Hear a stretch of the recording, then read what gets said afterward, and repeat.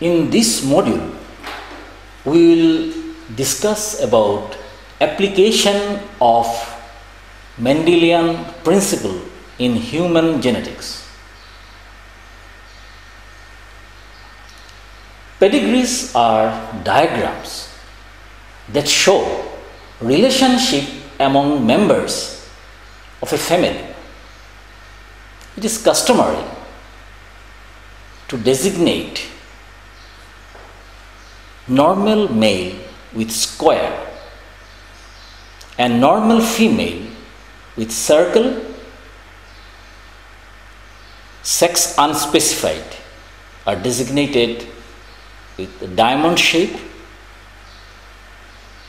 and affected individuals are shaded that is square circle or diamond shape now in case of multiple individuals Arabic numerals are put inside the square, circle, or diamonds, which indicates the number of individuals. In case of deceased individual, there is a line across the square, circle, or diamond. There is a spontaneous abortion in case of male as well as female. There is a termination of pregnancy and stillbirth. There are other symbols are also there. In case of index case, that is propositus, that is male, shaded male, it is when male are affected, it is called propositus, and when female are affected, it is called proposita. Zygosity uncertain and carrier X linked.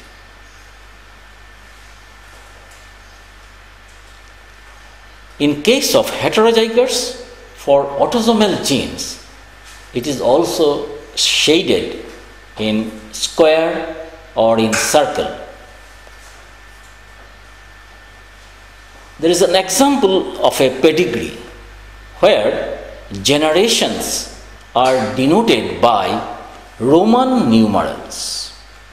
First generation, second generation, and third generation.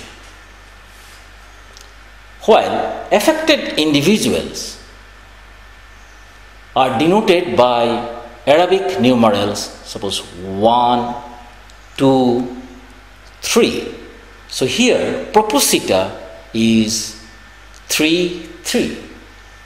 So in this way, in the pedigree, individuals and generations could be identified. There is a symbols of relationship also. In case of mating, male and female are connected by horizontal line. In case of consanguineous marriage, there are two horizontal lines connects male and female.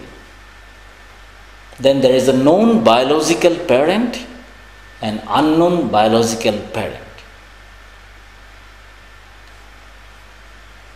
In case of twins, they are also designated as monozygotic twins or dizygotic twins.